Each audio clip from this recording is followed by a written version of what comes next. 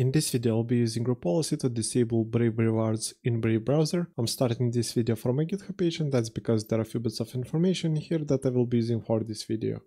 And I will leave the URL in the description down below. Also in the bottom of the page you can find more of my videos that are related to this topic. For example here you can find my Windows Server setup and also here you can find a video about installing policy templates to manage Brave browser settings via group policy. And this video in this case is not necessary because the setting that I will be modifying is not currently available in the policy templates because as you can see here I will be disabling Brave rewards by deploying a registry entry. Also here you can find the location to the policy that I will be configuring and also all the values that I will be using in this policy. And now I will begin this video by going to my VMware workstation where I have my Windows environment and here I will be creating my policy so I will go to tools, group policy management, I will right click on group policy objects, select new, I will name the policy Brave settings, then I will click OK, I will expand group policy objects, select the policy that I created, then I will right click on it and select edit.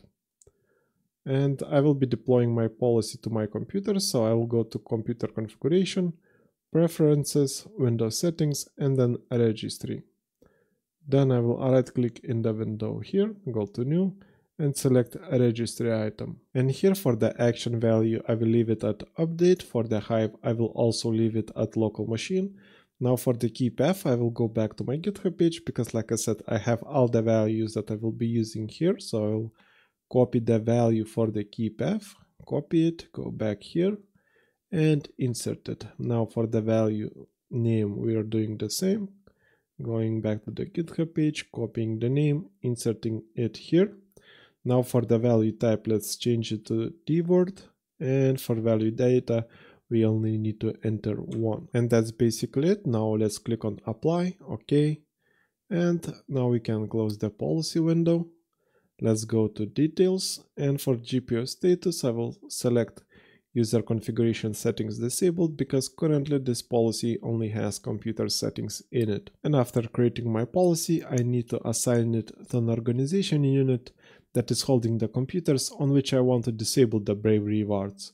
And for that I will click on hold on the policy and then I will drag it on this organization unit. Then I will release it and as you can see the policy appeared here and also in the list here. And that's basically it. Now to test this policy I will go to one of my client machines that I have here. I will open Brave and as you can see we have Brave rewards enabled and that's because I didn't give enough time for the policy to update.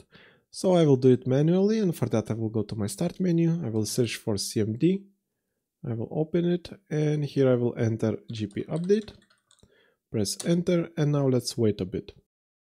And as you can see the policy is updated, now we still have Brave rewards here and that's because for the settings to apply we need to relaunch Brave so I will close it, reopen it and as you can see, this time we don't have Brave Rewards. And that's it for this video. Like and subscribe if you want to see more videos like this.